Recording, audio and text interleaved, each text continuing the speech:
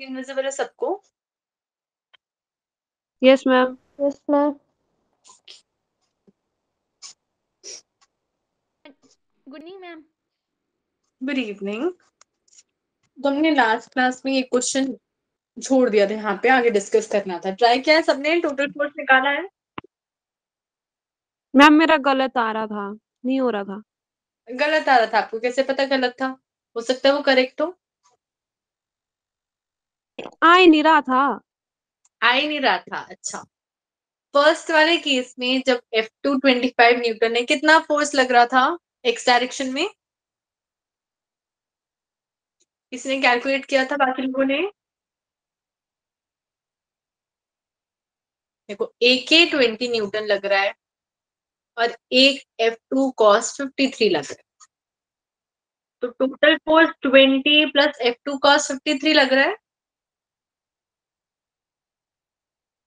Yes ma'am अच्छा अब यहाँ पे मैंने ट्राइंगल भी बनाया था तो अब यहाँ पे निकालें तो ट्वेंटी प्लस एफ़ टू है twenty five cos fifty three मतलब थ्री बाय फाइव यहाँ से अगर हम सॉल्व करें थर्टी फाइव न्यूटन आ रहा है answer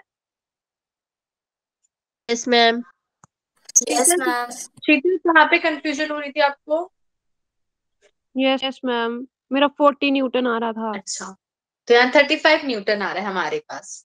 तो अब क्या करना है? अब देखो ये हमारे पास पता है कि हमें मैक्सिमम फ्रिक्शन की लिमिट फिफ्टी न्यूटन आ रही थी और हमारा applied force thirty five newton है। तो क्या होना चाहिए आपके हिसाब से? मैम मोशन नहीं होगा। मोशन नहीं होगा। तो एक तो एक्सेलरेशन ज़ीरो हो गया। दूसरा जब लिमिट से कम फोर्स लगाते हैं तो फ्रिक्शन कितना मिलता है? मैम सेम मिलता है। सेम मिलता है। तो फ़र्स्ट केस में अगर हमारे पास इस साइड लग रहा है थर्टी फाइव न्यूटन तो हमें अपोजिट डायरेक्शन में थर्टी फाइव न्यूटन का ही फ्रिक्शन मिलेगा क्योंकि अभी हम लिमिट से कम है। लिमिट से कम में हम फ्रिक्शन बढ़ता जाएगा बढ़ता जाएगा हमारे अप्लाइड फोर्स के हिसाब से। ये क्लियर है सबको? यस मैम ओके अब सेकंड वाले पार्ट पे चलते हैं जिसमें force fifty newton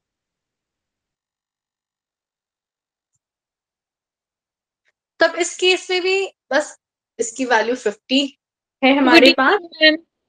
good evening है ना तो यहाँ से अप्लाइड फोर्स निकालेंगे तो twenty plus fifty cos fifty three फिर से ट्राइंगल देखते हैं यहाँ पे फिफ्टी थ्री डिग्री एंगल है थ्री फोर फाइव तो हमारे पास इस केस में क्या होगा? Twenty plus fifty into three by five यहाँ से कितनी वैल्यू आएगी? मैम को फिफ्टी थ्री कितना होता है? थ्री बाय फाइव देखो फिफ्टी थ्री के साथ वाला बेस हो गया और हाइपोटेन्यूज फाइव है। क्लियर है शीतल? यस मैम तो इसको सॉल्व करेंगे कितना आएगा? सिंपल कैलकुलेशन है बताओ सब। फिफ्टी फिफ्टी न्यूटन आएगा। अब हम लोग हमारे पास जो लिमिट थी फोर्स फ्रिक्शन की वो तो फिफ्टी थी। और हम यहाँ पे. फिफ्टी पे पहुँच गए तो वो लिमिट से कम पर क्या है? मूव नहीं करेगा। और जैसी लिमिट पे पहुँच गए मोशन स्टार्ट हो जाएगा। तो अब हम फ्रिक्शन स्टैटिक वाला यूज़ नहीं करेंगे। अब हम काइनेटिक वाला यूज़ करेंगे। जैसे ही हम लोग लिमिट पे पहुँच गए मोशन हल्का हल्का स्टार्ट हो जाएगा तो स्टैटिक वाला नहीं काइनेटिक यूज़ करेंगे। तब उसको समझते अगर हम 50 न्यूटन लगा रहे हैं तो मैक्सिमम लिमिट थी 50 पर अब हमारे पास 50 की ही वैल्यू है। तो उस केस में ऑब्जेक्ट मोशन में आ जाएगा तो स्टैटिक वाला फ्रिक्शन नहीं काइनेटिक वाला यूज़ होगा। और उसको कैसे निकालेंगे? मेरे पास यहाँ 10 केजी जो ब्लॉक है, उसके ऊपर डाउनवर्ड डायरेक्शन में एफ़ लग रहा है और ऊपर वाले में दो force N plus F sine fifty three static वाले में हमारे पास ये फोर्स हमने गायब कर दिया था, अब इस केस में हम इस फोर्स को साथ में तो अगर वाई डायरेक्शन में हम इक्विलिब्रियम लगाए तो sum of all forces in Y direction कितना होना चाहिए? ज़ीरो ज़ीरो होना चाहिए। प्लस का एन प्लस का एफ़ साइन फिफ्टी थ्री और माइनस का एम जी इस पूरे की वैल्यू ज़ीरो इसमें किसी को डाउट है? नहीं है डाउट अब यहाँ से हम लोग कैलकुलेट करते हैं फिर। ये कर क्यों रहे हैं? क्योंकि हमें अगर काइनेटिक वाला फ्रिक्शन चाहिए तो हमारे पास म्यू के तो है, पर हमारे पास नॉर्मल की वैल्यू नहीं है। नॉर्मल की वैल्यू हम डायरेक्टली एम जी नहीं ले सकते हैं, क्योंकि हमारे पास अभी एक्स्ट्रा फोर्स आ गया ठीक तो अब यहाँ से निकालते हैं एन प्लस फोर्स था फिफ्टी साइन फिफ्टी थ्री यहाँ से हो जाएगा four by five perpendicular fifty three के लिए फोर है माइनस एम जी तो मास टेन था टेन इंटू टेन हंड्रेड तो नॉर्मल रिएक्शन की क्या वैल्यू आ रही है? कैलकुलेट करो सब लोग. सिक्सटी. सिक्सटी आ तो हमारे पास नॉर्मल रिएक्शन आ गया सिक्सटी. और फ्रिक्शन हमें पता है म्यू के इंटू एन होगा. और यहाँ पे ऑलरेडी मेंशन है म्यू के है zero point four ma'am sixty कैसे आया? सिक्सटी कैसे आया? फाइव से कैंसिल हो गया ten forty minus hundred minus sixty आएगा? क्लियर हुआ ये? मैम तो हंड्रेड को काटा। नहीं देखो यहाँ पे मैंने इसको डिवाइड करा फिफ्टी को फाइव से तो फोर्टी आया माइनस का हंड्रेड प्लस का फोर्टी माइनस का हंड्रेड क्या होगा? सिक्सटी सिक्सटी होगा। समझ आया आपको? यस मैम अब इस zero point four into sixty से मल्टीप्लाई कर रहे हैं तो यहाँ से आया ट्वेंटी फोर मीटर मतलब इतना तो हमें हमारे पास फ्रिक्शन लग रहा है और हम कितना फोर्स लगाने इस डायरेक्शन में? फिफ्टी न्यूटन ठीक है? तो अब एक्सेलरेशन मिलेगा या नहीं मिलेगा? ये बताओ। नो मैम नो मैम देखो यहाँ पे आगे की डायरेक्शन में 15 लग रहा है पीछे की डायरेक्शन में 24 लग रहा है। तो कुछ ना कुछ फोर्स बच रहा है ना? यस मैम तो एक्सेलरेशन हमें मिलेगा। जब फ्रिक्शन उसके बराबर होता है जितना फोर्स हम लगा रहे हैं उस केस में हमें एक्सेलरेशन नहीं मिलता है। पर यहाँ पे हमारे पास लिमिट पे पहुँच गए हैं। तो टोटल फोर्स अगर हम निकालें तो वो आएगा प्लस का 50 माइनस का 24 विच इज़ इक्वल टू 26 ये क्लियर हुआ? यस मैम और 26 फोर्स है तो 26 से ये 10 केजी वाला ब्लॉक कुछ एक्सेलरेशन से मूव कर रहा है। तो ए की वैल्यू क्या आ जाएगी? क्या एक्सेलरेशन आया?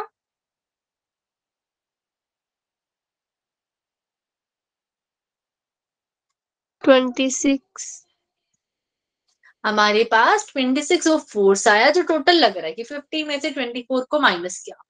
और इस 26 वाले फोर्स से फोर्स हो रहा है तो मास तो एक्सेलरेशन होगा। मास है यहाँ पे 10 केजी वाला और वो कुछ एक्सेलरेशन से मूव कर रहा है। एक्सेलरेशन कितना आएगा, ये पूछ रही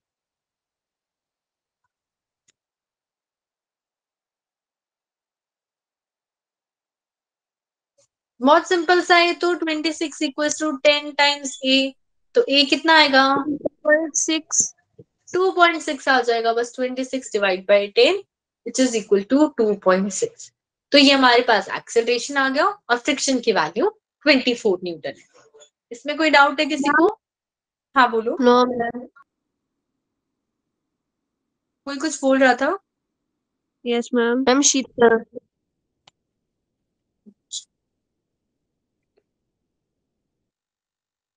अब हमारे पास है role of friction in walking कि what is the direction of the friction on you when you are walking on the ground कि हम चलते वक्त फ्रिक्शन का क्या काम है हमारे पास और फ्रिक्शन किस तरफ़ लगता है?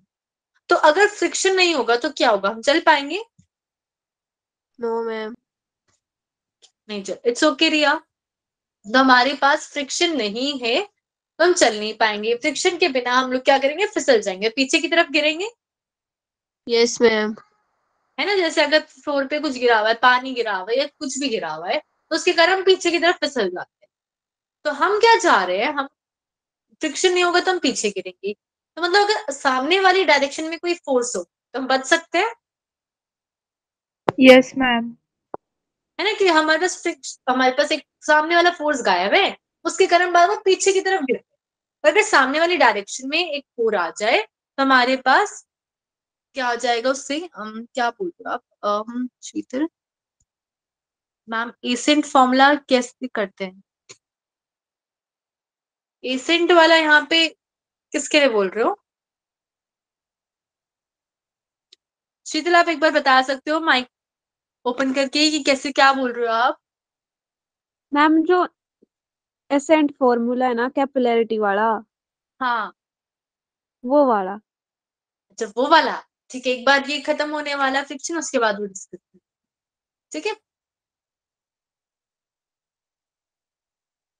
फिर हमारे पास यहाँ पे क्या है ये जो आदमी है ये वॉक करने की कोशिश कर रहे हैं तो मैं फ्रिक्शन बता तो जब भी हम चलते हैं तो हम क्या करते हैं अर्थ को पीछे की तरफ़ या जो भी ग्राउंड है जिससे हम कांटेक्ट में उसको पीछे की तरफ़ पुश करते हैं? Yes ma'am. तो हम लोग क्या कर रहे हैं? हम डायरेक्टली वर्टिकल डायरेक्शन में मतलब ऐसे हम लोग फोर्स नहीं लगा रहे हम कुछ टेढ़ा फोर्स लगा रहे हैं।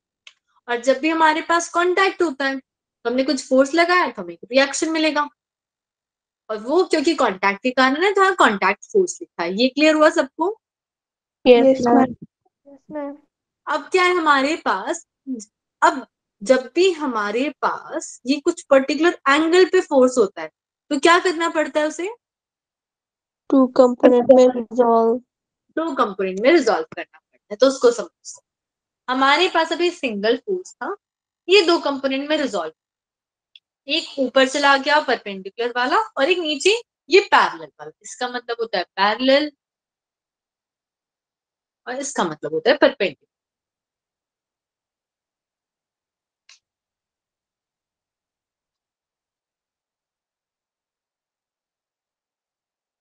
अब क्या होगा हमारे पास ये जो दो कंपोनेंट आए जैसे ये अगर एंगल थीटा है जिस पे मान लेते हैं हमने कि इस एंगल पे हमने फोर्स लगाया अंदर की तरफ़ बदले में रिएक्शन मिला। तो ये वाला कंपोनेंट हो जाएगा आर कॉस थीटा और ये वाला हो जाएगा आर साइन थीटा अब अगर हम खड़े हैं तो हमारा कुछ वेट भी होगा। क्या बोल रहे हो? मैम वर्टिकल वाला होता है ना आर साइन थीटा तो अपवर्ड वाला भी वही होगा। हाँ अपवर्ड वाला यही वाला है आर साइन और हॉरिजॉन्टल वाला तो आर कोस थीटा हाँ आर कॉस थीटा क्लियर है ये? यस मैम अब हमारे पास याद में तो उसका कुछ ना कुछ वेट होगा तो वेट वर्टिकली डाउनवर्ड लगता है ऐसे एम जी तो देखो आदमी ऊपर नीचे तो कूदता नहीं है। तो इसका मतलब R sine theta M G के बराबर है बैलेंस कर रहे हैं एक दूसरे को? Yes, ma'am. पर हमारे पास ये जो आर कॉस थीटा है जो आगे की तरफ़ जा रहा है ये अकेला रह गया। तो यही हमारा क्या होता है फ्रिक्शन होता है। जो हमारे पास हमें आगे की डायरेक्शन में एक फोर्स चाहिए था जिससे हम पीछे की तरफ़ ना गिरे। तो वही फोर्स हमें आर कॉस थीटा से मिलता है और उसी को हम फ्रिक्शन कहते हैं। ये क्लियर हुआ सबको? Yes, ma'am.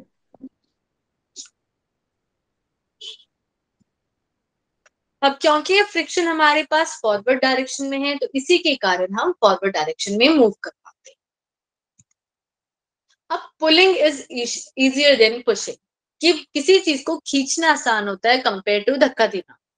क्या ये स्टेटमेंट करेक्ट है? Yes ma'am. Yes, मैम ऐसा क्यों होता है अगर मैं आप लोगों से पूछूँ? मैम क्योंकि अगर उसकी मतलब हम्म, एक में फोर्स कम लगाना पड़ता है, एक में ज़्यादा। एक में फोर्स कम लगाना पड़ता है, एक में फोर्स ज़्यादा लगाना पड़ता है। अब समझते हैं ऐसा होता क्यों?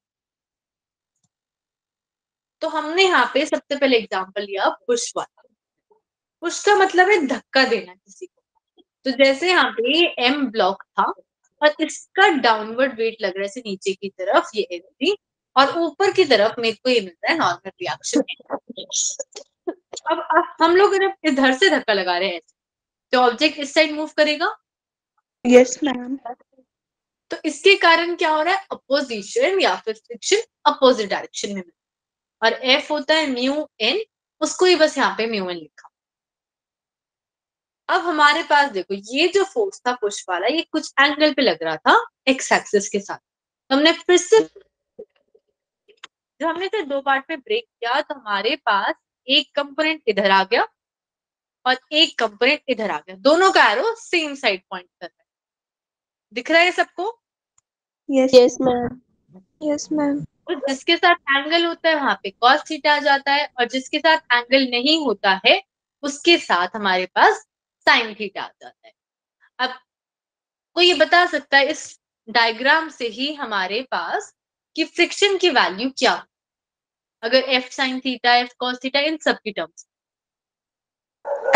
plus F sine theta M G plus F sine theta friction की वैल्यू होगी वो?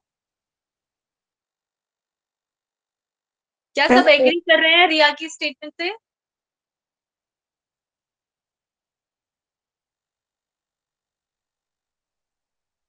देखो हमारे पास रिया ने क्या कहा कि फ्रिक्शन की वैल्यू की M G plus F sine theta कुछ ना कुछ करेक्ट है और कुछ चीज़ें इसमें गलत काफ़ी हद तक ये करेक्ट एक छोटा सा पॉइंट मिस कर दे दिया हमारे पास फ्रिक्शन होता है म्यू इंटू एन यही होता है?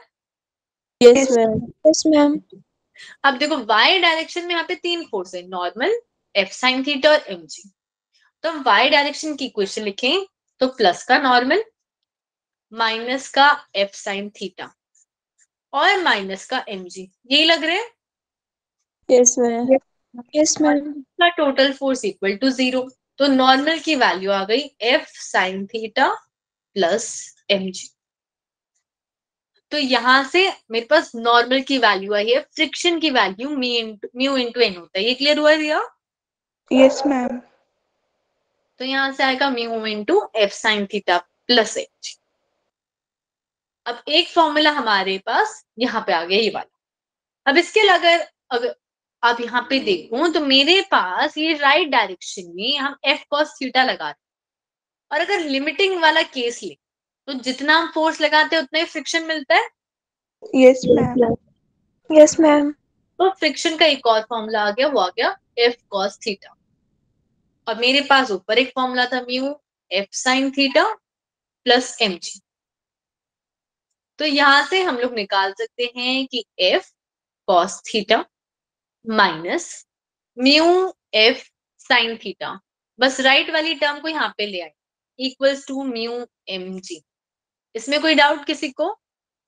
नो मैम मैम अब हमारे पास ये तो चलो ठीक है। अब इससे एफ़ को अगर मैं कॉमन लू तो cos theta minus mu sine theta equals to mu M G. यहाँ से एफ़ आ गया mu M G upon cos theta plus mu sine theta ये क्लियर है सबको? सॉरी माइनस मैम तो ये हमारा वो फोर्स है जो हम लगा रहे थे और उससे पहले एक और फ्रिक्शन का फॉर्मूला अब ये तो पुशिंग वाला केस है इसको कंपेयर करने के लिए हम पुलिंग वाले पे चलते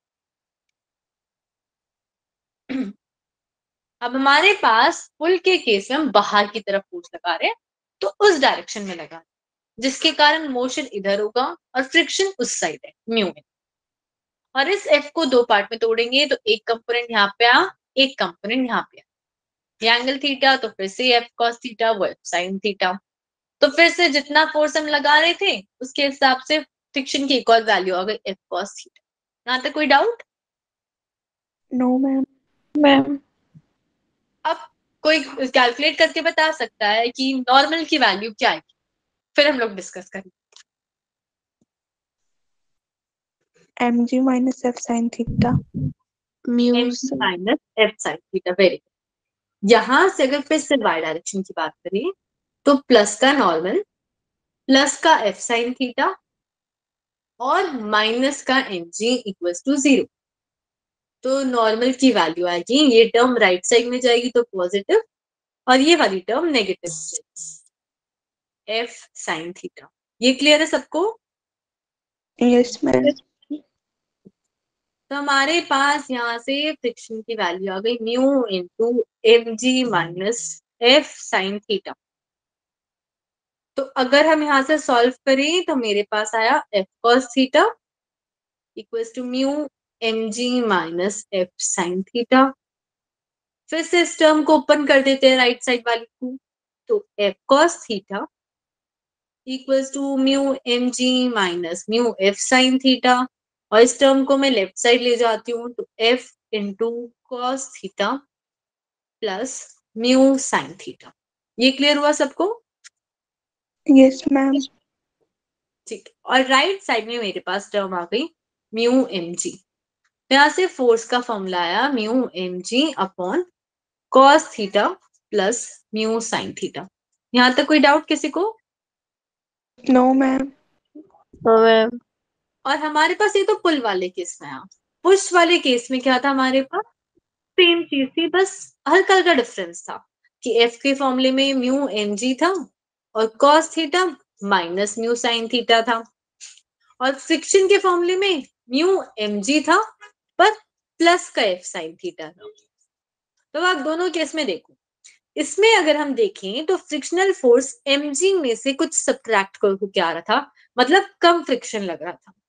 और इस वाले में mg में कुछ वैल्यू एड हो रही है तो ज़्यादा फ्रिक्शन लग रहा है। जितना ज़्यादा फ्रिक्शन होगा उतना ज़्यादा फोर्स लगाना पड़ेगा मूव करने के लिए। यस मैम यस मैम और हम ये भी देख सकते हैं कि यहाँ पे जो डिनोमिनेटर है ये तो बड़ा है और ये वाला छोटा है। तो जितना छोटा डिनोमिनेटर होता है उतना बड़ा फ्रैक्शन होता है। यस मैम यस मैम तो हमारे पास जो पुश वाला केस है उसमें फोर्स ज़्यादा लगाना पड़ेगा कंपेयर टू पुल वाले। ये हो गया पुल वाला और ये हो गया हमारे पास पुश वाला। किसी को कोई डाउट है तो इसमें पूछ लू। एक सेकेंड आप देख लो ये पूरी डेरिवेशन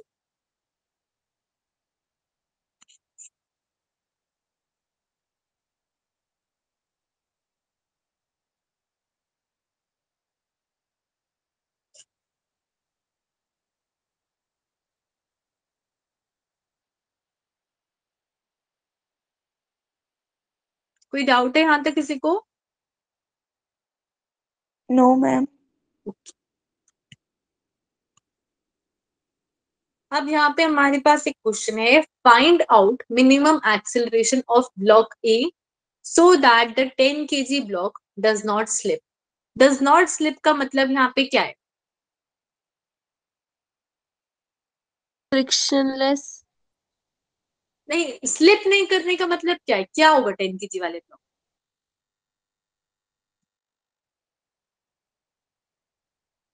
फोर्स नहीं लगेगा। फोर्स वो बॉडी ऊपर नीचे नहीं जाएगी ना टेन के जी वाली? स्लिप का तो मतलब ये होगा ना? यस मैम यस मैम तो अगर इसके ऊपर कुछ नीचे ऊपर फोर्स लग रहा है तो वो बराबर होना चाहिए ताकि वो यहीं का यहीं रहे। फिर यहाँ पे बोला ये जो ए वाला ब्लॉक है कितने एक्सेलरेशन से आगे जाए ये कंडीशन हो सकती तो अगर ये कैपिटल ए जो बड़े वाला डब्बा है वो ए एक्सेलरेशन से जा रहा है तो स्मॉल वाला बॉक्स कितने एक्सेलरेशन से जाएगा? ए से ए से ए से जाएगा। तो हम लोग क्या करते हैं? फ्री बॉडी डायग्राम बनाते तो फटाफट सब लोग 10 केजी वाले ब्लॉक का फ्री बॉडी डायग्राम बनाओ। वन मिनट का टाइम है फिर हम सब ट्राई करते हैं कौन कौन से फोर्सेस लग रहे हैं बस वो बना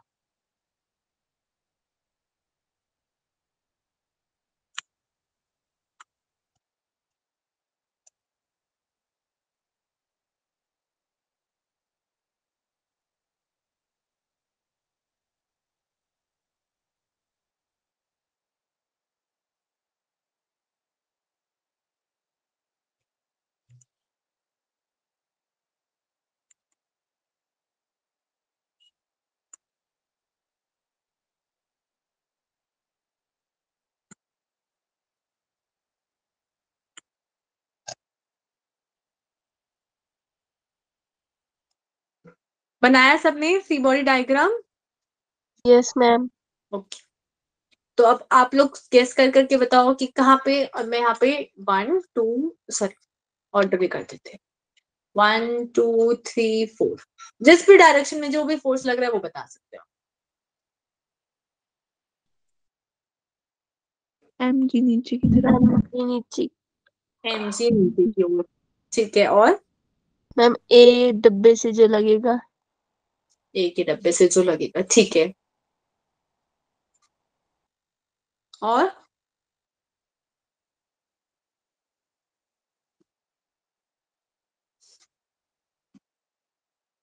और कौन सा फोर्स लगेगा?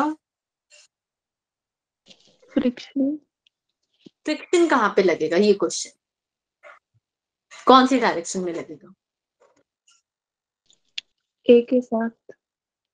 फोर की तरफ़ फ़ूड की तरफ़ फोर मतलब ऐसे लगेगा फिक्शन यस मैम वन की तरफ़. वन की तरफ़ किसने बोला?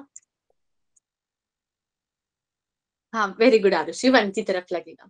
देखो हमारे पास यहाँ पे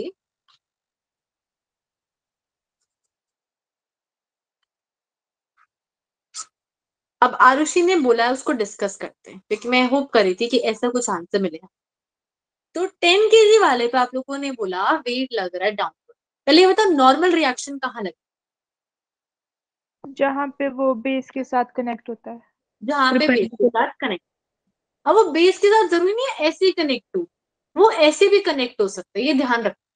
पर कहीं ना कहीं सरफेस से कनेक्ट होना चाहिए। तो हमारे पास अगर हम बात करें टेन के जी वाला यहाँ पे तो ये मेरे पास इधर से बड़े वाले से कनेक्टेड तो यहाँ से 90 डिग्री पे मेरे को नॉर्मल रिएक्शन ये क्लियर हुआ सबको? यस मैम यस मैम अब ये 10 के जी वाला ब्लॉक नीचे की तरफ़ आने की कोशिश कर रहा था? यस मैम तो इसका मतलब ऊपर की तरफ़ फ्रिक्शन लगेगा ना? यस मैम यस और ये क्या होगा फ्रिक्शन कहाँ लगेगा? इन दोनों सरफेसेस के बीच में लगेगा यहाँ से। इसकी बाउंड्री पे से यहाँ फ्रिक्शन लगेगा। और फ्रिक्शन क्या होता है? Mu into N yes ma'am yes ma'am अब हमारे पास ये कंडीशन अब देखो ये जो पीछे वाला ब्लॉक है ये ए एक्सेलरेशन से मूव कर रहा था। और आप लोगों ने बोला था ये टेन के वाला भी ए एक्सेलरेशन से मूव करेगा इधर। धक्का लगेगा तो। यस मैम तो मतलब इसके ऊपर टेन इंटू ए मैंने एम ए लिख दिया है ये फोर्स लगना चाहिए। पर अगर हम देखें टेन के वाले ब्लॉक पे एक सिर्फ़ नॉर्मल ही है जो सामने की तरफ़ लग रहा है। दिख रहा है सबको? यस मैम यस तो इसका मतलब नॉर्मल ही हमारा टेन ए के बराबर होना चाहिए जो आगे एक्सेलरेट करवा पा रहा है? यस मैम ठीक है। तो कंडीशन मेरे पास ये आ गई। अब और क्या कर सकते हैं? अगर ये स्लिप नहीं करेगा तो एक और कंडीशन मेरे को यहाँ से दिख रही है, वो बताना। क्या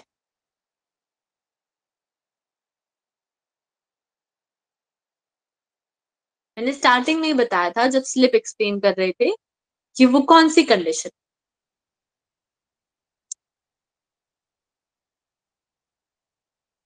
स्लिप का मतलब क्या था?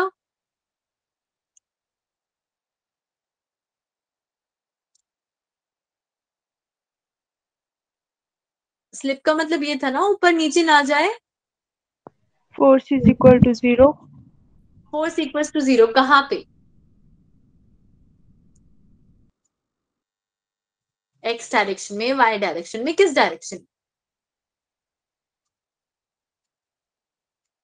स्लिप कौन सी डायरेक्शन में हो सकता है? एक्स में या वाई वाई वाई में। वाई तो वाई वाले में टोटल फोर्स ज़ीरो होना चाहिए? यस मैम तो वाई वाले के फोर्सेस देखते हैं। पॉजिटिव डायरेक्शन में फ्रिक्शन लग रहा है नेगेटिव वाले में एमजी लग रहा है। तो म्यू इंटू एन माइनस का M G equal to zero या फिर mu N equal to M G यहाँ तक कोई डाउट नो अब क्या कर सकते हैं हम लोग? चलो इस बहुत सिंपल कैलकुलेशन है। फिर से वन मिनट देती हूँ। जिन लोग को समझ आ गया क्या करना है, वो ट्राई करो कैलकुलेशन फिर सब लोग साथ में डिस्कस करेंगे। एक्सेलरेशन क्या है?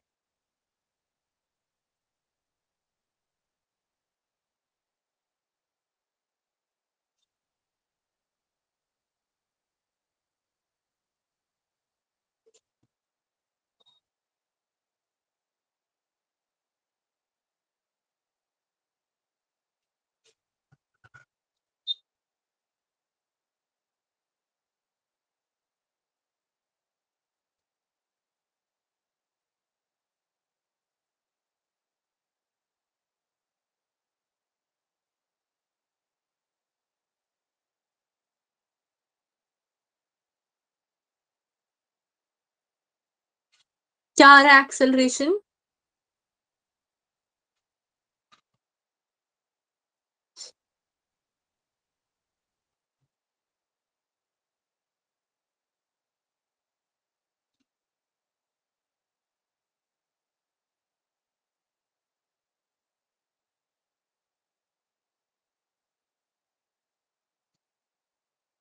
आप लोग ट्राई कर रहे हो ना? ट्राई करे पर नहीं आ रहा है। नहीं आ रहा है। किसी और का आ रहा है या, या टाइम चाहिए अभी? मैम आ नहीं रहा है। Okay. क्या कैसे कह रहा मेरे को भी ये बताओ। एक एक करके स्टेप्स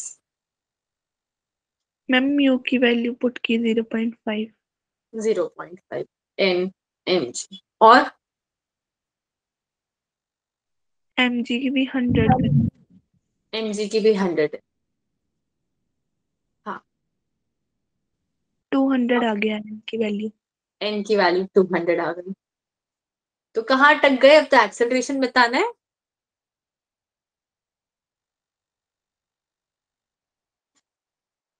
ट्वेंटी। ट्वेंटी आएगा। देखो यहाँ पे ऊपर सबसे पहले फॉर्मूला आ गया था ना normal equals to ten times of acceleration yes ma'am मतलब two hundred equals to ten A zero से ज़ीरो कैंसिल हो गया। ए की वैल्यू आ गई ट्वेंटी क्लियर है सबको ये? यस मैम तो हमारे पास अगर इतने एक्सेलरेशन से पीछे वाला ब्लॉक धक्का दे रहा है तो क्या हुआ? टेन के जी वाला नहीं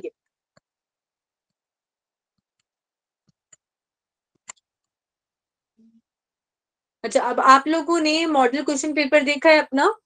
हिमाचल वाला जो मैंने सेंड किया था? यस मैम ठीक है। को एक मिनट तो मैं उसे ओपन कर देते हैं फिर वो डिस्कस कर लेंगे।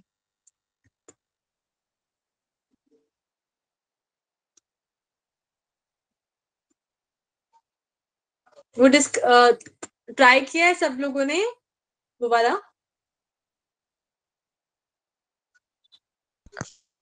मैम अभी नहीं किया है। अभी नहीं किया है तो उसमें कुछ न्यूमेरिकल्स है। मैं सोच रही थी कि क्या शायद लास्ट क्लास है आप लोग के साथ मेरी आपके पेपर से पहले इलेवेंथ वाले। तो इलेवेंथ वाले जो भी आपके उस पेपर में क्वेश्चन हैं क्योंकि वो आपके बोर्ड से आए हुए मैंने सोचा वो डिस्कस कर लेते हैं ताकि उसमें कोई कंफ्यूजन थ्योरम हाँ। वर्नोलियम थ्योरम मैम फॉर्मूला कौन सा formula ascent formula ascent formula ठीक है। काफ़ी कंफ्यूजन है उसमें आप लोगों को। वो एक फॉर्मूला एक Laplace correction Newton formula. Laplace correction में क्या doubt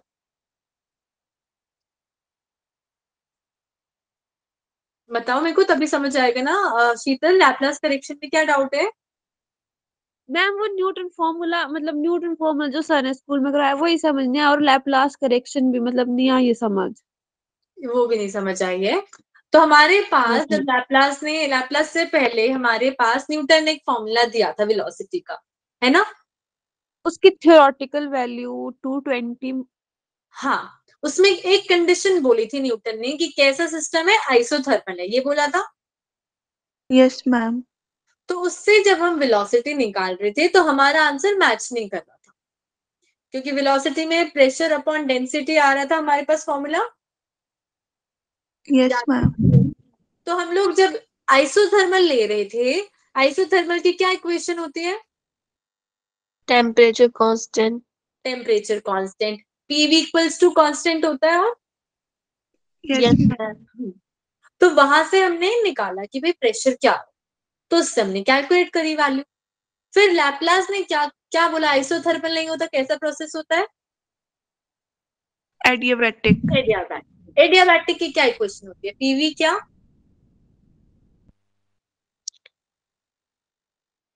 heat energy constant PV की पावर क्या होती है? प्रेशर है। वॉल्यूम की कुछ पावर होती है ना एडियाबैटिक में? गामा पावर आती है ना? भूल गए सब लोग? यस मैम मैम वो एडिया में आती है। हाँ एडियाबैटिक की बात करें। तो जैसे हमारे पास पीवी की पावर गामा आया तो फिर हमने वो जो बल्क मॉडुलस निकाला, उस फॉर्मूले में पुट करने के तो उसमें एक एक्स्ट्रा फैक्टर आ गया। हमारे पास गामा एक एक्स्ट्रा आ गया। उससे क्या हुआ? हम, हमारी वेलोसिटी करेक्ट हो गई। इसके अलावा और कुछ नहीं है शीतल, बस इतना ध्यान रखना है। पहले हमने, एक सेकेंड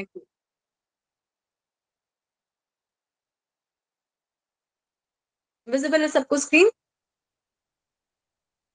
यस मैम यस तो हमारे पास आइसोथर्मल में होता है पीवी कांस्टेंट और दूसरे में होता है पीवी की पावर गामा कांस्टेंट अब आपके पेपर में प्रॉपर डेरिवेशन ही आई थी हिमाचल वाले में तो इसका एक बार डेरिवेटिव देख। जब दो टर्म्स का डेरिवेटिव करते हैं तो कौन सा रूल यूज़ होता है? जब दोनों मल्टीप्लाई कौन सा रूल यूज़ होता है? प्रोडक्ट रूल होता है? यस मैम तो प्रोडक्ट रूल के हिसाब से हमारे पास एक बार एक का डेरिवेटिव करेंगे फिर दूसरे का। तो मैं यहाँ पे करती हूँ एक बार प्रेशर को कांस्टेंट रखा वॉल्यूम का डेरिवेटिव। एक बार वॉल्यूम को कांस्टेंट रखा और प्रेशर का डेरिवेटिव। और कांस्टेंट का डेरिवेटिव क्या होता है? ज़ीरो ज़ीरो तो यहाँ से अगर मैं देखूँ P D V equals to minus P D P और हमें जो फॉर्मूला होता है वेलोसिटी का वो क्या होता है? बी अपॉन डेंसिटी होता है? Bulk modulus upon density yes ma'am तो बल्क मॉडुलस निकालते हैं। अब बल्क मॉडुलस क्या होता है? Change in pressure upon change in volume upon original volume divided by और ये माइनस साइन होता है? ये फॉर्मूला पता है सबको? यस मैम यस मैम तो यहाँ से इसकी वैल्यू निकालते हैं। तो डीपी हमें चाहिए इधर ऑलरेडी है। अब ये डीवी को भी राइट साइड ले जाते हैं तो हमारे पास डिनोमिनेटर में गया और ऊपर ये वी है। तो इसको अगर थोड़ा सिंप्लीफाई करूँगी तो यही आएगा minus V D P upon DV तो इसका मतलब बल्क मॉडुलस की वैल्यू प्रेशर के बराबर आइसोथर्मल के केस तो हमने नॉर्मल कंडीशंस में प्रेशर की वैल्यू पुट करी, हमें डेंसिटी ऑफ़ एयर की तो उससे हमारे पास वेलोसिटी 200 के अराउंड आ रही थी। फिर हमने क्या किया? एडियाबैटिक केस लिया। इसमें डेरिवेटिव करते हैं फिर से। तो एक बार हमने प्रेशर को कांस्टेंट रखा, एक बार वॉल्यूम को। जब वॉल्यूम को कांस्टेंट रखा तो तो डीपी आ गया। पर जब प्रेशर को कांस्टेंट रखा तो x की पावर n का डेरिवेटिव n, x की पावर n माइनस वन होता है। यस मैम तो यहाँ से ये गामा सामने प्रेशर कांस्टेंट है गामा सामने आ और जो वॉल्यूम है उसकी एक पावर डिक्रीज हो गई ऐसे और कांस्टेंट का डेरिवेटिव ज़ीरो ये क्लियर हुआ सबको? यस मैम यस मैम अब यहाँ से फिर से इस टर्म को राइट साइड ले जाते हैं माइनस पी गामा वी की पावर गामा माइनस यहाँ पे भी। अब क्या करते हैं हम लोग? यहाँ पे v की पावर गामा है, यहाँ v की पावर गामा माइनस वन इसको लेफ़्ट साइड ले आते हैं। तो v गामा अपॉन v की power gamma minus one into D P equals to minus P gamma और यहाँ पे dv भी आएगा। तो अब इसकी वैल्यू क्या आएगी? V की पावर क्या बच जाएगी? कोई बता सकता है? ऊपर गामा है नीचे गामा माइनस वन है। सब्ट्रैक्ट होती है पावर डिवाइड में। यस मैम यस तो ये आएगा ना गामा गामा कैंसिल हो गया खाली Yes, वॉल्यूम रह. गया। Volume DV equal to minus P gamma और इस डी को भी इधर ले जाते हैं और ये माइनस साइन इधर कर तो ये फिर से हमारे पास बल्क मॉडुलस बन गया? तो इस बार भी अगर हम देखें तो बल्क मॉडुलस का फॉर्मूला में पी तो आ रहा है एक्स्ट्रा गामा उसी गामा को जब हम यहाँ पे पुट करेंगे तो हमारी वेलोसिटी बढ़ जाएगी और अराउंड 300 के अराउंड आती है। जो अप्रोक्सीमेटली हमारे पास जो ओरिजिनल वैल्यू से काफ़ी क्लोज है। तो ये हमारे पास करेक्शन क्या था? लैपलास ने और ये हमें दिया था न्यूटन ठीक है, इसलिए हम लोग एडियाबैटिक कंसिडर करते हैं। क्लियर हुआ सबको?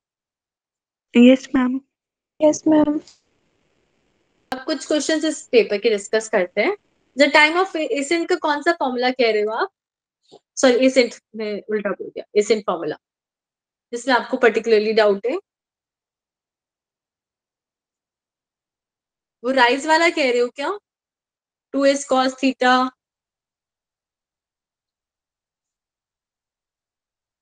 Sheetal? Yes ma'am rise वाला टू एस कॉस थीटा वाला कह रहे हो? मैम वो कैपिलरिटी वाला। हाँ वही पूछ रही टू एस कॉस थीटा जो cos theta upon rho rg rho RG ना यही वाला। हम्म, तो हमारे पास क्या होता है जब हमारे पास एक कैपलरी ट्यूब होती है तो इसके अंदर हम लोग कुछ डालते हैं तो क्या होता है कुछ राइज भी होता है और कुछ डिक्रीज भी होता है ऐसा ही होता है? सबको पता है ये? यस Yes, ठीक है। तो अब यहाँ पे मेरे पास एस क्या है यहाँ पे कोई बता सकता है? जो कैपिटल एस होता है इस फॉर्मूले में वो क्या होती है? सरफेस टेंशन होती है पर सरफेस टेंशन होती है। तो एस तो हमारे पास सरफेस टेंशन है। और ये एंगल क्या है यहाँ पे? जैसे अगर मान लो आपके पास क्या होता है कैपिलरी में दो टाइप की पॉसिबिलिटीज है। वैसे तो तीन होती है कि एक है कि वो पानी ऐसे का ऐसे इसी लेवल पे रहे। एक पॉसिबिलिटी है कुछ एंगल से ऐसे ऊपर उठ जाए और एक पॉसिबिलिटी वो अंदर की तरफ़ घुस जाए। ये तीन होती है? यस मैम तो हमारा जो ओरिजिनल कंडीशन है उससे कितना ऊपर नीचे गया वही है ये एंगल थीटा ठीक है? कि ऊपर की तरफ़ कितना गया नीचे की तरफ़ कितना गया तो हमारे पास ये वो पर्टिकुलरली एंगल है। जैसे अगर नीचे की तरफ़ देखेंगे तो हमारे पास यहाँ पे एंगल थीटा आ रहा है कितना नीचे गया। और इसी को अगर हम वैसे ड्रॉ करने की कोशिश करें तो ये आ जाएगा। अगर हम ड्रॉ करते हैं मेरे पास यहाँ पे एक बीकर था और उसमें मेरे पास पानी ऐसे श्रिंक हो गया। तो मेरे पास क्या हुआ ये जो पानी का सरफेस है ये इस बाउंड्री के साथ किस एंगल पे है? तो ये है एंगल थीटा और इसको यूज़ करके हम कॉस थीटा निकालते हैं। ये क्लियर हुआ? Yes ma'am Yes, ma'am. और यहाँ पे आर क्या है? अब रेडियस रेडियस है। ये जो कैपलरी ट्यूब थी इसका ही रेडियस है हमारे पास। और डेंसिटी किसकी होती है? कैपलरी ट्यूब के अंदर जो फ्लूड है उसकी है? यस मैम मैम जो फ्लूड उसमें होगा उसकी। हाँ जो फ्लूड उसमें होगा उसकी है। फिर जी हमारे पास हमें पता है एक्सेलरेशन ड्यू टू ग्रेविटी होता है। Yes, ma'am. अब एक चीज़ हमारे पास रह गई है कि क्या देता क्या है? ये देता है कि भाई पानी जो है वो कितनी हाइट तक दिखेगा। जैसे इस केस में भी देखो, अगर हमारे पास एक बाउंड्री पे तो टच कर रहा है, पर अंदर से झुक चुका है। पर एक्चुअली में तो ये पूरी हाइट दिख रही है ना हमें? कि मैं अंदर से ऐसे बैठा हुआ दिखेगा, पर वो है तो पूरी हाइट ही। तो कितनी हाइट तक उसके अंदर फ्लूइड है, वो है एच कि ऊपर कितना है, नीचे कितना है। जैसे मान लो मेरे पास ये वाला ही केस है। तो ओरिजिनली पानी था ऐसे। अब अगर ये मेरे पास अंदर की तरफ़ होएगा ऐसे तो ये इतना सारा पानी कहाँ जाएगा? ये तो यूज़ होना चाहिए। तो वही पानी ऐसे ये जो फ्लूइड है वो ऐसे ऊपर की तरफ़ साइड वाली जगह में चला जाएगा। तो उसके कारण क्या होगा? राइज होगा कैपिलरी ट्यूब में। ये क्लियर हुआ सबको? Yes, ma'am. ठीक है तो वो अंदर से झुक चुका है पर वो जो एक्स्ट्रा फ्लूड था वो साइड से ऊपर की तरफ़ चला जाएगा जिसके कारण कैपिलरी ट्यूब में राइज मिलता है। क्लियर है अब सबको? Yes, ma'am. अब यहाँ पे एक बार कुछ क्वेश्चन डिस्कस करते हैं। उससे पहले हमारे पास पेपर में जैसे आप लोग का पैटर्न जो है उसमें ट्वेल्व एमसीक्यू है। हमारे पास फाइव टू मार्कर क्वेश्चंस हैं। फिर हमारे पास सेवन थ्री मार्कर हैं और टू फोर मार्कर। आप सबसे पहले कौन से वाले स्टार्ट करते हो पेपर में? ये बताओ टू मार्कर। To marker. अच्छा देखो इस अच्छा इसमें से वो सेक्शन कौन सा सबसे ज़्यादा दिमाग चाहिए? शांति। फोर। One mark. जैसे आप लोग का पेपर का पैटर्न है फोर मार्कर में तो सीधा डेरिवेशन है एक छोटा सा न्यूमेरिकल सबसे ज़्यादा जो दिमाग से होता है वो हमें एमसीक्यू में चाहिए होता है। क्योंकि वो Yes. ऑप्शन दे देता है। तो ऑप्शन हमें दे रहा है तो इतना इजी नहीं देगा कि हम डायरेक्टली कर सकते क्योंकि उसने ऑलरेडी हमारा आधा काम कर दिया कि हमें प्रॉपर आंसर दिख रहा है। तो उन क्वेश्चंस में क्या होगा वो थोड़ा सा घुमा फिरा के क्वेश्चंस करेंगे ताकि हमें फिर आंसर मिले। तो एमसीक्यू के टाइम पे दिमाग अपना बिल्कुल ठंडा रखा करो कि भाई ठीक है मेरे पास आंसर सामने है पर कुछ हल्की सी सिली मिस्टेक करी तो हो सकता है आपके पेपर में ऑप्शन आ जाए zero point five five fifty आप एक टेन को गड़बड़ कर दिया तो आपने फिफ्टी कर दिया ऑप्शन तो ये भी दिख रहा है। तो आपके सारे मार्क्स कट गए. क्योंकि इसमें स्टेप्स के कोई मार्क्स नहीं। तो एमसीक्यू ध्यान से कर। उसके बाद आपको चाहे कोई भी सेक्शन करना है two marker three marker four marker वो आपकी मर्ज़ी है। पर सबसे पहले उन क्वेश्चन को करा करो जो आपको पता ही आपको आते जैसे कोई डेरिवेशन है, ठीक है, ये एस्केप वेलोसिटी की डेरिवेशन है, ये तो मेरे को आती है। तो उससे स्टार्ट कर दो। उससे क्या होगा? अगर आप डायरेक्टली कुछ ऐसे क्वेश्चन पे जा रहे हो जो आपको आता ही नहीं है तो आपको क्या होगा? आपको कॉन्फिडेंस डाउन हो जाएगा कि मेरे को यही नहीं आता, पहला क्वेश्चन करा था, वही नहीं आ रहा है। तो दूसरा क्वेश्चन ढंग से नहीं कर पाओगे वही घूमता रहेगा दिमाग में? Yes Yes, ma'am. तो सबसे पहले क्या करा करो अगर एक बार क्वेश्चंस को सबको गो थ्रू आपने एक मिनट दी क्वेश्चन में नहीं समझ आ रहा है बिल्कुल नहीं समझ आ रहा उसे छोड़ दो वहाँ पे। ठीक है कि इसके ऊपर बैठे नहीं रहना है और दूसरे क्वेश्चन पे चलो। फिर कोई ऐसा क्वेश्चन करो जो आपको आता है। फिर क्वेश्चन करो जो आपको आता है। तो आपने जैसे ही मान लो आपको दस क्वेश्चन भी आते हैं सारे में से ट्वेंटी नाइन से दस क्वेश्चन आते हैं आपको हंड्रेड परसेंट तो उन दस को करने से आपको कॉन्फिडेंस आ जाए कि चलो दस तो हो गए अब और कर दो। पर अगर आप पहले ही उन पे क्वेश्चन पे अटके रहोगे ना जो आता नहीं है तो सारा कॉन्फिडेंस गया और जो आते हैं उनके लिए टाइम ही नहीं बचेगा। क्लियर है सबको? Yes, ma'am.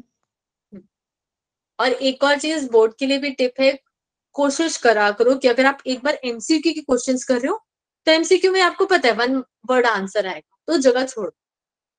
फिर वापस वहीं पे लिख दो एमसीक्यूज में एटलीस्ट उसके बाद जैसे अगर आपको एक टू मार्कर क्वेश्चन करना है एक थ्री मार्कर एक फोर मार्कर वो फिर भी मैनेज हो सकता है। ये बस ज़्यादा क्रिस क्रॉस मत करा करो एक फोर मार्कर किया फिर एक एमसीक्यू करा फिर एक थ्री मार्कर करा। टीचर टीचर को भी प्रॉब्लम होती क्लियर है सबको ये? Yes, ma'am Ma'am. अब फ़र्स्ट क्वेश्चन में हमारे पास एरिया बताना है ओ ए बी सी का। तो सब भूल जाओ फॉर्मूला जो भी हमें पता है कि एरिया ये तो ग्राफ से कैसे निकालेंगे? हमें एक रेक्टेंगल दिख रहा है बस। रेक्टेंगल का एरिया लेंथ इनटू ब्रेथ होती है। हमारे पास ओ से ए वाली जगह पे टी लिखा हुआ है। ये भी नहीं बताया टी क्या है। स्मॉल टी से पर टाइम होता है और यू से इनिशियल वेलोसिटी होती है। तो हमारे पास लेंथ इंटू ब्रेथ करेंगे तो टाइम इंटू वेलोसिटी करनी है वो क्या देगा हमें. डिस्प्लेसमेंट देगा क्लियर है सबको ये? Yes, ma'am. Yes, ma'am. Okay फिर हमारे पास असर्शन एंड रीजन के क्वेश्चंस होते हैं। ये आपको पता है कैसे करते हैं? Yes, ma'am. Yes, ma'am. हमारे पास वो एक चीज़ बोलेंगे बात बोलेंगे। हमें देखना है वो सही है या गलत है।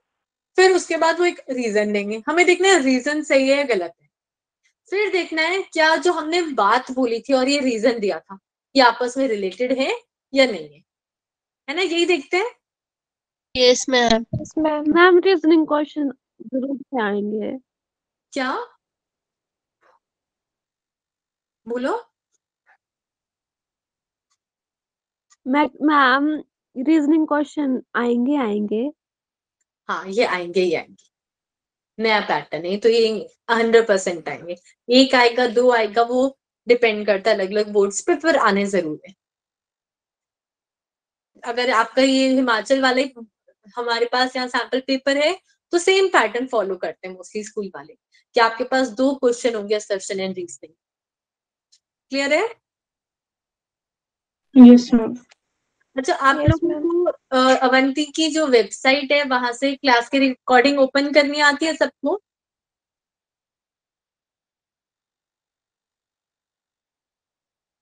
आलम सर ने बहुत दिन पहले भेजा था ना link Yes, ma'am. Yes, ma'am. Yes, ठीक है तो मैंने ना आज बी फोर उसमें सारे बैचेस दिखते हैं? आप लोगों को भी दिखते होंगे?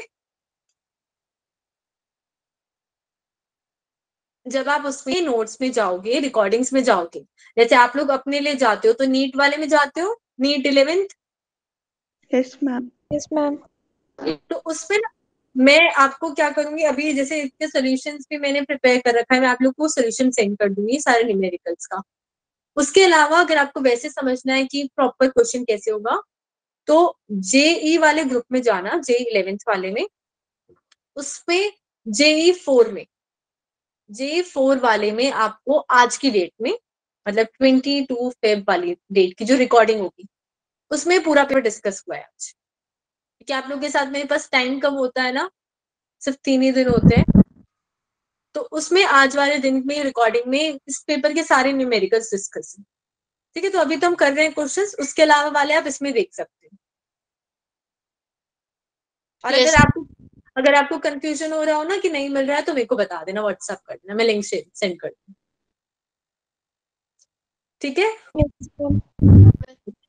यस तो हमारे पास यहाँ पे असर्शन है the lift of an aeroplane is based on Bernoulli's principle क्या स्टेटमेंट ट्रू है?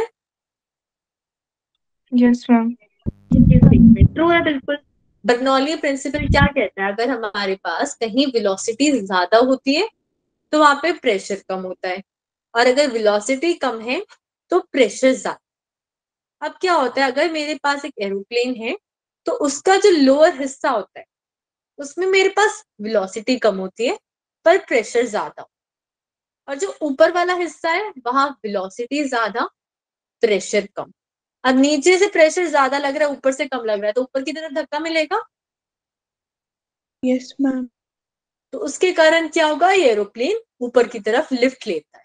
हमारे पास रीजन दे रखा है due to in difference in velocity at upper and and lower end the aeroplane takes a lift assertion भी correct है और reason भी करेक्ट फिर हमारे पास थर्ड वाले में तीन फोर्सेस है F one F two F three जो तीन साइड्स ऑफ़ द ट्राइंगल है। F one F one F two F three तो ट्राइंगल लॉ क्या कहता है?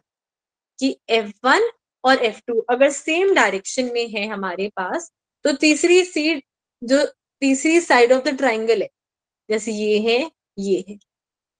फिर यहाँ पे हमें रिजल्टेंट मिलता है। यही कहता है ट्राइंगल लॉ Yes, ma'am. तो अगर मैं F1 और F2 को ऐड करूँ तो भाई आप सोचो ये दोनों तो सेम डायरेक्शन है तो हमें कुछ ना कुछ सेम डायरेक्शन में मिलना चाहिए था पर एक्चुअली में ये दोनों इधर जा रहे हैं और F3 वाला अपोजिट डायरेक्शन में जा रहा है। तो हमारे पास F1 plus F two is equal to minus F three फिर क्योंकि अगर मैं यहाँ पे सेकेंड रीजन रीजनिंग पे आऊँ तो F1 plus F two plus F3 ये करती हूँ। तो यहाँ पे माइनस एफ़ थ्री के बराबर तो ये पूरा था। तो इस पूरे की वैल्यू ज़ीरो आ गई। यस मैम तो अब जैसे ही टोटल फोर्स ज़ीरो आया इक्विलिब्रियम का केस हो गया ना हमारे पास। Yes, मैम और अगर ये तीनों जो फोर्सेस थे वो जुड़े हुए हैं तो ये पूरा का पूरा एक ट्राइंगल इकट्ठा मूव करेगा। कहीं भी मूव कर सकता है एक्स में वाई में जेड में। ठीक है? और इन तीनों पर्टिकुलर डायरेक्शन में अगर हम देखें तो टोटल फोर्स ज़ीरो है तो ये कंडीशन हो गई है ट्रांसलेटरी इक्विलिब्रियम की। तो रीजन भी करेक्ट है। तो यहाँ पे भी दोनों चीज़ें करेक्ट है। क्लियर है सबको? यस मैम अब यहाँ पे हमारे पास वर्टिकल सर्कल है। तो वर्टिकल सर्कल का मतलब होता है जैसे साइकिल का टायर जब कोई सर्कल खड़ा हुआ हुआ है तो उसको कहते हैं वर्टिकल सर्कल ये क्लियर हुआ है सबको? Yes. यस मैम अब वर्टिकल सर्कल के दो पॉइंट्स होते हैं ऊपर वाला एक नीचे. ये हमारे पास अपर एंड हो गया हाईएस्ट पॉइंट ये वाला हो गया हमारा सबसे नीचे वाला लोएस्ट अब इन दोनों के ऊपर वेलोसिटीज फिक्स है और ये इंपॉर्टेंट है आती भी. जो सबसे नीचे वाला हिस्सा है वहाँ पे वेलोसिटी होती है under root five G R पर जो सबसे ऊपर वाला हिस्सा है, वहाँ पे होती है अंडर रूट जी आर और अब यहाँ पे फोर्थ और फिफ्थ में पूछा है काइनेटिक एनर्जी बतानी इन दोनों पॉइंट तो काइनेटिक एनर्जी होती है हाफ़ एम वी स्क्वायर तो हमें यहाँ पे दोनों में वेलोसिटीज दे रखी है, बस इनका स्क्वेयर करना है। जैसे अगर हम बात करें ऊपर वाले एंड की तो हाफ़ एम अंडर रूट का स्क्वेयर अंडर रूट हट जाएगा Yes, ma'am. तो ऊपर वाली जगह तो हाफ़ एम जी आर आ गया और सबसे नीचे वाली जगह half M five G R five by two M G R clear है ये? यस Yes, मैम फिर हमारे पास यहाँ पे ट्रांसलेटरी और रोटेशनल मोशन की टर्म्स है तो उनको फटाफट देखते हैं। यहाँ पे ट्रांसलेटरी की बात कर रही हूँ यहाँ पे रोटेशन की तो ट्रांसलेटरी में जैसे डिस्प्लेसमेंट होता है रोटेशनल में एंगुलर डिस्प्लेसमेंट होता है। यहाँ वेलोसिटी होती है यहाँ पे ओमेगा यहाँ पे एक्सेलरेशन होता है यहाँ पे एंगुलर एक्सेलरेशन अल्फ़ा होता है। यहाँ पे फोर्स होता है तो रोटेशनल में टॉर्क होता है। और यहाँ मास होता है तो यहाँ पे इनर्शिया होता है। ये पता है सबको? Yes, ma'am. Yes ma'am Yes, ma'am. और लीनियर मोमेंटम होता है तो एंगुलर मोमेंटम अब इनका फॉर्मूला हर बार बनाने के लिए डेरिवेशन करने की ज़रूरत नहीं। हमें बस ये ध्यान रखना है सिंबल्स क्या क्या हो। जैसे अगर फोर्स का फॉर्मूला देखें तो वो होता है मास इनटू एक्सेलरेशन अब फोर्स की जगह लग जाता है टॉर्क रोटेशनल में। मास की जगह लग जाता है आई आई लिख दिया। ए की जगह लग जाता है अल्फ़ा तो torque equal to I alpha आ गया। क्लियर है सबको ये? Yes, ये फॉर्मूलाज कैसे बना सकते अब एमसीक्यू में क्या होता है? क्या बोल रही हो? टॉर्क का सिंबल टॉर्क ये रहा। Tau. टाउ टाउ बोलते हैं ऐसे लिखते हैं। जैसे ट बनाते हैं और ट को बीच में से काट। ठीक है? हमें ये वाली यूनिट करवाई नहीं है स्कूल में। हाँ करवाई भी है। नहीं करवाई है। ये नहीं करवाई है। नो मैम अच्छा कौन से वाली नहीं कराई टॉर्क नहीं करवाया? नो मैम अच्छा। अभी तो टाइम ही नहीं बचा क्योंकि हमारी इसी वीक तक क्लास है फिर आपको टाइम भी देना सेल्फ स्टडी के लिए। आप लोग पहले बता देते तो मैं हाँ बोलो। ना टॉर्क करवाया ना वेव्स करवाई है और सेवंथ यूनिट भी छोड़ दिया। अच्छा तो अगर स्कूल वालों ने छुड़वाई है तो पेपर में थोड़ी डालेंगे? मैम पेपर बार बोर्ड से आएगा। अच्छा आपका इलेवेंथ में भी बोर्ड ही है ना? हाँ। ठीक तो ये बस इतना ध्यान रखो अगर डायरेक्ट फॉर्मूला बेस्ड क्वेश्चन आ रहे हैं वरना तो आप लोग को प्रॉब्लम होगी अब आप कैसे करोगे? मेरे पास कहीं पे कौन कौन सी यूनिट्स नहीं कराई रोटेशनल वाली? मैम एक टॉर्क वाली एक वेव्स वाली। हम्म।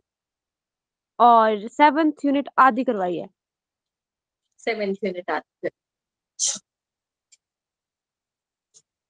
तो अभी क्लासेस खत्म हो गई होंगी स्कूल की तो? नो मैम चली हुई है। प्रैक्टिकल्स करवा रहे हैं फ़िलहाल। प्रैक्टिकल चल रहे होंगे ना अभी वैसे तो पढ़ाई तो अब कम ही होगी ना पेपर ही स्टार्ट होने वाले हैं। अच्छा एमसीक्यू में जो यहाँ पे ये वाला क्वेश्चन है कि हमें मैच द फॉलोइंग करना है तो इसमें ध्यान रखना आप कोई भी एक चीज़ ढूंढ लो जो आपकी करेक्ट आपको पता हो। जैसे यहाँ पे मास का मेरे को पता है इनर्शिया होता है इसको मैच कर तो कभी कभी लक अच्छा होता है कि एक ऑप्शन मेरे को पता है और वो इन सब में से एक में ही हो रहा है।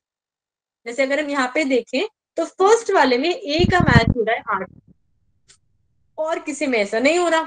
और मेरे को पता है ये वाला हंड्रेड परसेंट करेक्ट है। तो करेक्ट ऑप्शन ए हो गया। ऐसे भी कर सकते हैं हम लोग? Ma'am. मैम अब जैसे सेवेंथ वाले में भी वही सेम सिस्टम हमें अर्थ का पता है इसकी velocity yes ma'am eleven point two eleven point two मतलब पी का क्यू के साथ मैच होना चाहिए। तो इसमें देखते हैं क्या सब में यही हो रहा है या अलग अलग इसमें सी के साथ पी है आर है और यहाँ पे भी आर है यहाँ पे क्यू है। तो फिर से एक ऑप्शन हुआ तो करेक्ट ऑप्शन बी हो गया। पर अगर हमारे पास सी का आर के साथ मैच होता है जैसे ये दोनों है तो हमें और चीज़ें भी देखनी पड़ती ठीक है तो अगर हमारे पास कभी कभी लक फेवर करता है तो एक ही ऑप्शन में होता है ऐसा वरना प्रॉब्लम हो जाती है। क्लियर है सबको? यस मैम एट्थ वाले में हमारे पास है कोएफिशिएंट ऑफ़ विस्कोसिटी तो स्टोक्स लॉ पढ़ा है सबने? यस मैम फोर्स होता है six by eta R V ये ईटा ही कोएफिशिएंट ऑफ़ विस्कोसिटी होती है। एफ़ से फोर्स है आर से हमारे पास वो डिस्टेंस है वी से हमारे पास यहाँ है। तो ईटा का अगर मेरे को डायमेंशन बनाना है तो वो फोर्स पे डिपेंड करेगा आर पे डिपेंड करेगा और वी पे। फोर्स की जगह न्यूटन लिखेंगे, क्योंकि हमारे पास सारे ऑप्शन में न्यूटन ही दे रखा है। तो उसको चेंज मत करना ओपन मत करना। यहाँ से न्यूटन आ गया। यहाँ पे आ जाएगा मीटर और इधर से आएगा मीटर पर सेकंड तो ये हो गया न्यूटन सेकंड मीटर की पावर माइनस टू। क्लियर है सबको? Yes. Yes. तो करेक्ट ऑप्शन हो गया बी अब यहाँ पे इस क्वेश्चन में हमारे पास ये रखा है कि वॉल्यूम इंक्रीज होती है क्योंकि एक्सपेंशन है तो डीवी इंक्रीज हो रहा है। और इंटरनल एनर्जी सेकंड की आएगी। क्या बोल रहे हो? फिर से पूछो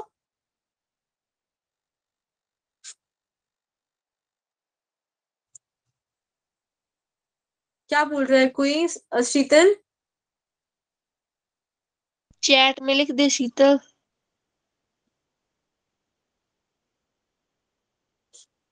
तो हमारे पास जैसे यहाँ पे वॉल्यूम इंक्रीज हो रही है इंटरनल एनर्जी डिक्रीज हो रही है।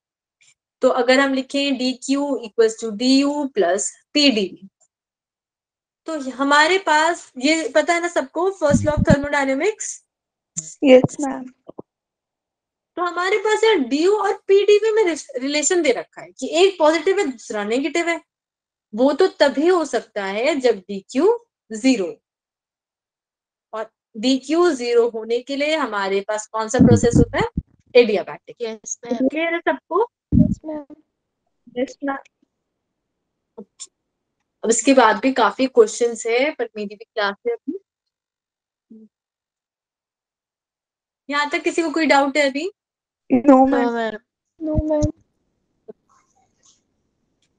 तो इसके बाद भी अगर आपको कोई डाउट आ रहा है तो आप मेरे को व्हाट्सएप कर सकते हो और वो दूसरी क्लास वाला लिंक अगर आप चेक करोगे मैंने यहाँ पे जो मेंशन किया था तो उसमें सारे क्वेश्चंस डिस्कस कर रखे हमने ठीक है मैं इसका मैंने पीडीएफ बना रखी है सारे न्यूमेरिकल्स की वो मैं आपको सेंड कर दूँगी अभी। ठीक है Yes, ma'am.